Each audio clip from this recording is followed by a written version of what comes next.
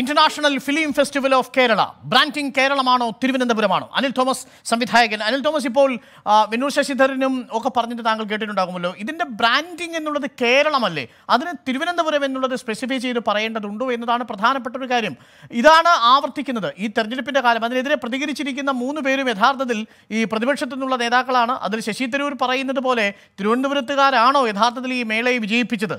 മറ്റിടങ്ങളിൽ നിന്ന് ഒരു തീർത്ഥാടനം പോലെ വരുന്ന മനുഷ്യരാണ് ഈ മേളയെ ഹൃദയത്തിലേറ്റിയിരിക്കുന്നത് എന്നാണ് ഞാൻ മനസ്സിലാക്കുന്നത്. തിരുവനന്തപുരത്തുകാരുണ്ടാവാം. പക്ഷേ അതേപോലെ തന്നെ കോഴിക്കോട്ടുകാരും മികച്ച സിനിമ ആസ്വദിക്കുന്ന ആളുകളുണ്ട്. അപ്പോൾ തിരുവനന്തപുരത്തിന്റെ ഒരു നോളജബിൾ പോപ്പുലേഷനാണ് ഈ സിനിമയെ വിജയിപ്പിച്ചത് എന്നൊക്കെ ശശി തരൂർ പറഞ്ഞാൽ അത് എത്രത്തോളം ശരിയാണ്?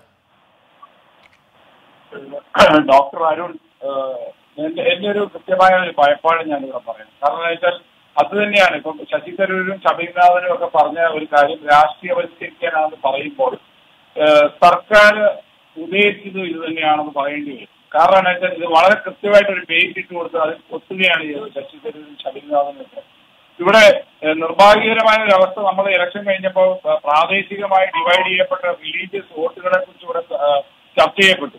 ഇപ്പൊ ഇങ്ങനെ ഒരു ടോപ്പിക് ഓപ്പൺ ഔട്ട് ചെയ്യുമ്പോൾ തന്നെ പ്രാദേശികവാദം വല്ലാതെ പിന്നിലെത്തെത്തിയപ്പെടും ഈ ഫെസ്റ്റിവൽ അനുവദിക്കപ്പെട്ടിരിക്കുന്ന പാലക്കാടും എറണാകുളത്തും ഉള്ളവര് അവർ അവരുടെ പ്രാദേശികവാദം ഉയർത്തിക്കൊണ്ടുവരും ഇത് ശരിക്കും പറഞ്ഞാൽ ഞാൻ മനസ്സിലാക്കുന്ന ഒരു വോട്ട് ബാങ്ക് പൊളിറ്റിക്സിന്റെ ഭാഗം തന്നെയായിട്ടാണ് സർക്കാർ ഈ തീരുമാനം എടുത്തതെന്ന് ഞാൻ വിശ്വസിക്കുന്നു. കാരണം ഇത് ജനകീയമാണ്. ജനകീയ സർക്കാർ ഇങ്ങനെ ഒരു തീരുമാനം എടുത്തത് എതിർക്കാൻ വേണ്ടിയിട്ട് കുറെ പ്രാദേശികവാദികൾ ഇറങ്ങി എന്ന് പറഞ്ഞ് അങ്ങനെ ഒരു കാഴ്ചപ്പാടിലാണ് ഇത് നീങ്ങാനായിട്ട് ചാൻസ് ഉള്ളത്. ഞാനൊരു ഉദാഹരണം ഒരു ചെറിയ സംശയം ചോദിക്കട്ടെ. ഇപ്പൊ പിണറായി വിജയന്റെ സ്ഥാനത്ത് ബഹുമാനപ്പെട്ട ഉമ്മൻചാണ്ടി പിന്നെ പാലായിൽ അല്ലെങ്കിൽ പൂഞ്ഞാറിൽ പി പി ജോർജും ആണെങ്കിൽ ഇപ്പൊ പൂഞ്ഞാറിലും പുതുപ്പള്ളിയിലുമായിട്ട് ഇത് നടത്താനായിട്ട് തീരുമാനിക്കുമായിരുന്നു ഇത് ഇതിന്റെ ഒരു സ്വഭാവം തന്നെ കണ്ടു കഴിഞ്ഞാൽ അറിയാം. തലശ്ശേരി പാലക്കാട് ഫിക്സ് ചെയ്ത് കൾച്ചറലി അവർ ഡിഗ്രേഡ് ചെയ്ത് പറയുകയല്ല. കോഴിക്കോട് എത്രയോ സാംസ്കാരിക കൂട്ടായ്മകളുടെ പ്രദേശമാണ്.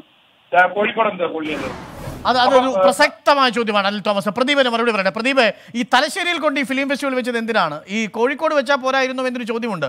അവിടെയാണ് രാഷ്ട്രീയം ഉണ്ടാവുന്നത്. പിണറായി വിജയൻ തലശ്ശേരി ആയതുകൊണ്ട് അവിടെ വെച്ചു. ഈ കേരളത്തിന്റെ മുഖ്യമന്ത്രി പി സി ജോർജ് ആയിരുന്നെങ്കിൽ പൂഞ്ഞാറിലെ ചലച്ചിത്രമേളയായി മാറുമായിരുന്നു.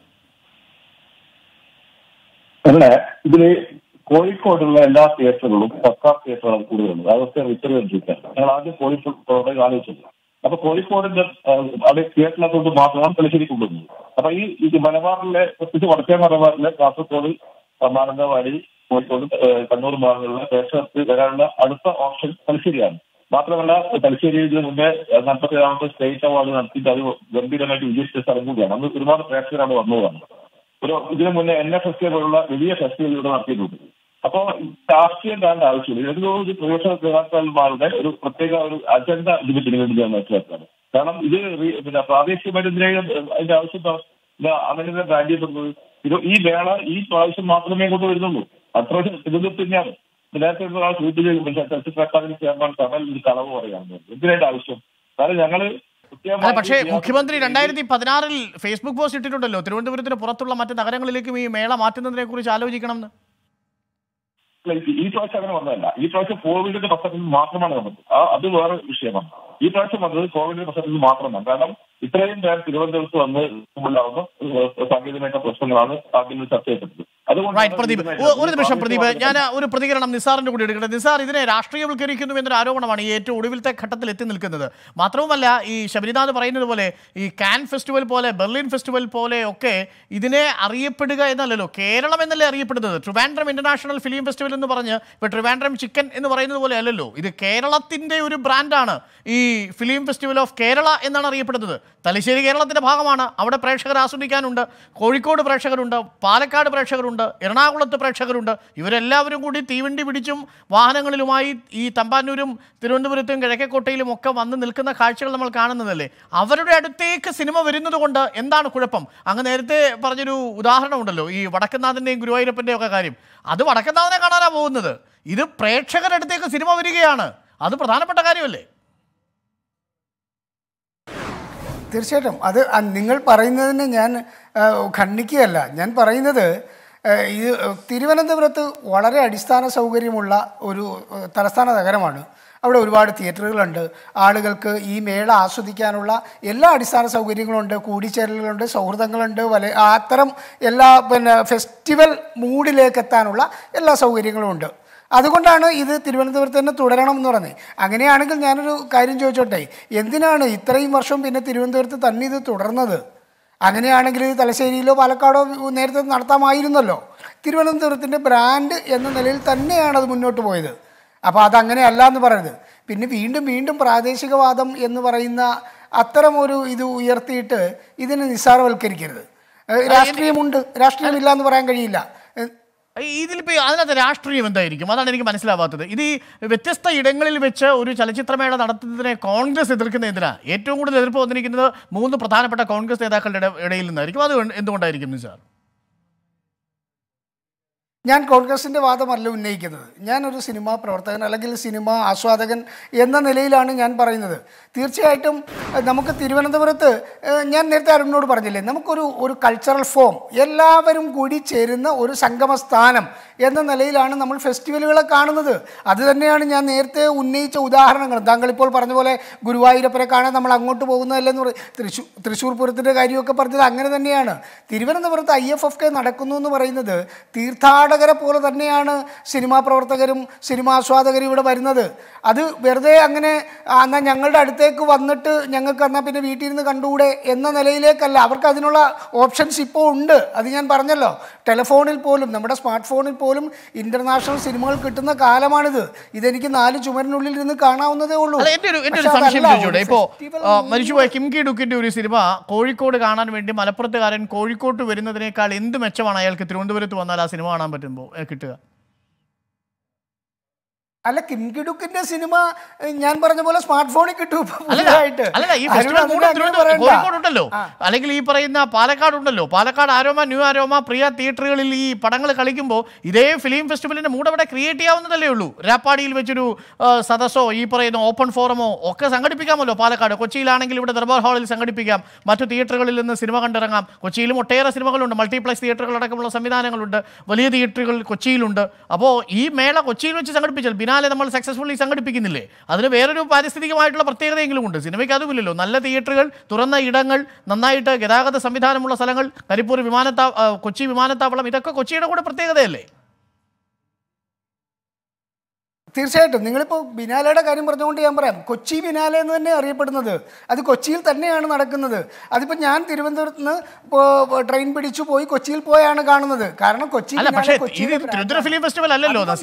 ഇത് കേരള ഫിലിം ഫെസ്റ്റിവൽ അല്ലേ അല്ല. അല്ല തീർച്ചയായിട്ടും. പക്ഷെ തിരുവനന്തപുരത്ത് ഇക്കഴിഞ്ഞ കാലം അത്രയും കാണ നടന്നുകൊണ്ടിരിക്കുകയും ആളുകൾ കൂട്ടത്തോടെ വന്ന് കാണുകയും ചെയ്തിരുന്ന ഒരു ഫെസ്റ്റാണിത് തീർച്ചയായിട്ടും അവരങ്ങനെ തന്നെ പോകുന്നതല്ല നല്ലത്. എന്തിനാണ് ഇങ്ങനെ തിടുക്കപ്പെട്ട് ഒരു ഇലക്ഷൻ ഇയറിൽ ഇലക്ഷൻ ഇയർ എന്നല്ല ഏതാണ്ട് ഒന്നോ രണ്ടോ മാസത്തിന് ശേഷം നടക്കാൻ പോകുന്ന തെരഞ്ഞെടുപ്പ് മുന്നിൽ കണ്ട് ഞങ്ങൾ ജനകീയവൽക്കരണം എന്ന നിലയിലേക്ക് ഈ സിനിമാ ഫെസ്റ്റിനെ ഇങ്ങനെ വിഭജിച്ച് ഒരു ഒരു രാഷ്ട്രീയമുണ്ട് അരുൺ ഉണ്ട്. രൂപേഷ് രൂപേഷ് രൂപേഷ് ചന്ദ്രൻ ആ രാഷ്ട്രീയം ആണ് കോൺഗ്രസിനെ കൊണ്ടും ശശി തരൂരിനെ കൊണ്ടും ഇങ്ങനെ ഫേസ്ബുക്ക് പോസ്റ്റ് ഇട്ടത്. മാത്രമല്ല ഇതൊരു സി പി എമ്മിന്റെ ഒരു രാഷ്ട്രീയമായിട്ടുള്ള നീക്കം കൂടിയാണ്. തലശ്ശേരിയിൽ വെച്ച് ഫിലിം ഫെസ്റ്റിവൽ സംഘടിപ്പിക്കണം എന്നൊക്കെ പറയുമ്പോൾ സ്വാഭാവികമായും അതിൽ വിവാദം ഉണ്ടാവുകയും ആ വിവാദത്തിന്റെ ആനുകൂല്യം ഈ തെരഞ്ഞെടുപ്പിൽ വോട്ട് ബാങ്കാക്കി മാറ്റാൻ കഴിയുമോ എന്നൊരു രാഷ്ട്രീയം കൂടിയാണ് അനിൽ ഇപ്പോൾ മുന്നോട്ട് വെച്ചിരിക്കുന്നത് നിസാറും. രൂപേഷ്.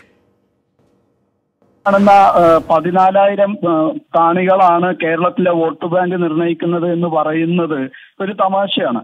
പിന്നെ ഐ എഫ് എഫ് കെയുടെ ചരിത്രം എടുത്തു നോക്കിയാൽ I F F K Kozhikode നടന്നിട്ടുണ്ട് കൊച്ചിയിൽ നടന്നിട്ടുണ്ട്. പിന്നീട് ഒരു ഘട്ടത്തിൽ സംഘാടനത്തിനുള്ള സൗകര്യം കണക്കിലെടുത്തിട്ട് മാത്രമാണ് ഇത് തിരുവനന്തപുരം ഒരു സ്ഥിരം വേദിയായിട്ട് മാറുന്നത്. ഈ വർഷം കോവിഡിന്റെ പ്രത്യേക സാഹചര്യത്തിൽ മാത്രമാണ് അത് പാലക്കാട് വരുന്നത്. ഇതെല്ലാ കൊല്ലവും പാലക്കാട് വരണമെന്ന് പാലക്കാടുകാരനായ ഞാൻ പോലും ശടിക്കില്ല ഒരു- ഇരുപത്തഞ്ചാം വർഷം മേള ഗംഭീരമായിട്ട് നടത്തണമെന്ന് പറയുകയും നടത്താൻ പറ്റിയില്ലേ പിന്നെ ഒന്നും നടക്കരുത് എന്ന് പറയുന്നതിൽ എന്ത് അർത്ഥമാണുള്ളത്? അപ്പൊ അദ്ദേഹത്തിന് മേളയുടെ ഉത്സവം അതിന്റെ ആഘോഷം അതിലൊക്കെ ആയിരിക്കും താല്പര്യം അല്ലാതെ സിനിമയിലല്ല എന്ന് കാണേണ്ടി വരും. സിനിമയിലാണ് താല്പര്യമെങ്കിൽ അല്ല ഞാൻ സിനിമ കാണാനാണെങ്കിൽ ഞാൻ പറഞ്ഞില്ലേ വീട്ടിൽ നിന്ന് താങ്കളുടെ സ്മാർട്ട് ഫോണിൽ കിട്ടും ഈ പറഞ്ഞ സിനിമകളൊക്കെ. അല്ലെങ്കിൽ ഭീമാപള്ളിയിൽ പോയാൽ സി ഡിയിൽ കിട്ടും. പണ്ട് ആരോ തമാശ പറയാറുണ്ട് ഭീമാപള്ളിയിൽ കിട്ടാത്ത സിനിമകളൊന്നും അല്ലല്ലോ അന്താരാഷ്ട്ര ഫിലിം ഫെസ്റ്റിവലിൽ എനിക്ക് അതിനകത്ത് ഒരു മറുപടി പറയാനുണ്ട്. പ്രാദേശിക ഫെസ്റ്റിവലും അന്താരാഷ്ട്ര ഫെസ്റ്റിവലും തമ്മിൽ വലിയ വ്യത്യാസമുണ്ട്. വിജയകരമായ ഒരു പ്രാദേശിക ഫെസ്റ്റിവൽ സംഘടിപ്പിക്കുന്ന ഒരാളാണ് ഞാൻ. പ്രാദേശിക ഫെസ്റ്റിവൽ എന്ന് പറയുന്നത് ഒരാളുടെ ഒരു വ്യക്തിപരമായ ശേഖരം പോലെയാണ്. പക്ഷേ അന്താരാഷ്ട്ര ചലച്ചിത്രമേള എന്ന് പറയുന്നത് ഒരു വലിയ പുസ്തക പുസ്തകമേള സംഘടിപ്പിക്കുന്ന പോലെയാണ്. അതിന് അതിന്റെതായ വലിപ്പമുണ്ട്. അല്ലാതെ ടെലിഗ്രാമിൽ ഞാൻ വീട്ടിലിരുന്ന് കാണുന്ന പോലെ കണ്ടുകൂടെ എന്ന് ചോദിക്കുന്നത് ശരിയല്ല. അതുകൊണ്ട് തന്നെ ഐ എഫ് എഫ് കെ അതിന്റെ വലിപ്പത്തിൽ തന്നെ നടക്കണം. പത്തിലോ പത്തോ അതിലധികമോ തിയേറ്ററുകൾ ഉള്ള ഒരു സ്ഥലത്ത് നടക്കണം. അത് പക്ഷേ ഇക്കൊല്ലം ഇത്രയും തിയേറ്ററുകൾ കിട്ടാത്ത ഒരു സാഹചര്യത്തിൽ മാത്രമല്ല അത്രയും തിയേറ്ററുകൾ ഇപ്പൊ ആവശ്യവുമില്ല ഇക്കൊല്ലം. അതാണ് അതിന്റെ വേറൊരു പ്രധാന പോയിന്റ് ഇക്കൊല്ലം നമുക്ക് നൂറ് സിനിമകളെ ലോകമാകെ എടുത്താൽ ഉള്ളൂ. അത് കാണിക്കാൻ അഞ്ച് തിയേറ്റർ മതി. അതുകൊണ്ട് അപ്പൊ പിന്നെ അത് അഞ്ച് തിയേറ്ററുള്ള നാല് നഗരങ്ങളിൽ നടക്കുന്നതിനെ എന്തിനാണ് എതിർക്കുന്നത്? അനിൽ ബോസ് മറുപടി. അനിൽ അനിൽ തോമസ് അനിൽ തോമസ് സോറി അല്ല, ഇതിനകത്ത് നാല് നഗരങ്ങളിൽ ചെയ്യുന്നതിനകത്ത് എതിർപ്പൊന്നുമില്ല ഇപ്പം ഞാൻ ആദ്യം തുടക്കത്തിൽ ചോദിച്ചു ഒറ്റ ചെറിയ ശബ്ദവിനിമയം ചെറിയൊരു സാങ്കേതിക തടസ്സമുണ്ട്. എനിക്ക് നിസ്സാറിൽ അവസാനിപ്പിക്കാം. അങ്ങനെ അങ്ങ് ചേർത്ത് പിടിക്കാമെങ്കിൽ മൈക്ക്. അനിൽ. ആ കേൾക്കാം. പറഞ്ഞോളൂ പറഞ്ഞോളൂ. അല്ല ഞാൻ ഇതിനെ ഈ പ്രാദേശികമാക്കിയത് ഇപ്പൊ ഞാനത് കൃത്യമായ രാഷ്ട്രീയം വന്നു. ഇവിടെ കോൺഗ്രസ്സുകാർ കയറി ഈ ഇതിൽ കൊത്തിയപ്പോൾ രാഷ്ട്രീയം വന്നു. അപ്പൊ ഈ രാഷ്ട്രീയപരമായിട്ട് ഇത് ഡിവൈഡഡ് ആയിട്ട് ഈ ഈ ഫെസ്റ്റിവൽ നടത്തപ്പെടും. അതിന്റെ ഒരു സാഹചര്യം എന്തിനാണ് രണ്ടായിരത്തി ഇരുപത്തി ഒന്ന് ഡിസംബർ മാസത്തിൽ ട്രിവാൻഡ്രത്ത് വെച്ച് ഗംഭീരമായി ഇരുപത്തഞ്ചാമത്തെ എഡിഷൻ നടത്തിക്കൂടായിരുന്നു. പിന്നെ വേറൊരു ഒറ്റ കാര്യം കൂടെ ഞാൻ പറഞ്ഞ് ഞാൻ അവസാനിപ്പിക്കാം. ഇത് ഞാൻ ഈ ഞാൻ ഓർമ്മ വെച്ചപ്പോൾ കേൾക്കുന്ന ഒരു കാര്യമാണ് തിരുവനന്തപുരത്ത് ഒരു ഫെസ്റ്റിവൽ കോംപ്ലക്സ് ഉമ്മൻചാണ്ടി സർക്കാരായാലും പിണ- പിണറായി വിജയൻ സർക്കാരായാലും എല്ലാ വർഷവും ഇത് കൺക്ലൂഡ് ചെയ്യുമ്പോൾ പറയുന്ന ഫെസ്റ്റിവൽ കോംപ്ലക്സ് ഫെസ്റ്റിവൽ കോംപ്ലക്സ് എന്ന് പറഞ്ഞ സാധനം നടന്നിട്ടില്ല. ഇത് ഇതൊരു ഒരു ആദരവ്യായാമം മറ്റേ രാഷ്ട്രീയ നേതൃത്വം നടത്തുന്നതല്ലാതെ ഇതിനകത്ത് കൃത്യമായ ഒരു സീരിയസ്നെസ്സോ കാര്യങ്ങളോ ഒന്നും ഇതിനകത്ത് thank you Anil Thomas thank you Rupesh Chandran thank you Vennur Sasidharan Nisar ഒപ്പം തന്നെ പ്രദീപ് ചൗക്ലി ഈ ചർച്ചയിൽ പങ്കെടുത്തതിന് തിരുവനന്തപുരം ആണോ ബ്രാൻഡിംഗ് അതല്ല കേരളത്തിന്റെ ഫിലിം ഫെസ്റ്റിവലിൽ കേരളമാണോ ബ്രാൻഡിംഗ് എന്നുള്ളതാണ്. എന്തായാലും പ്രധാനപ്പെട്ട വാദങ്ങൾ പ്രേക്ഷകർ കേട്ടുകഴിഞ്ഞു.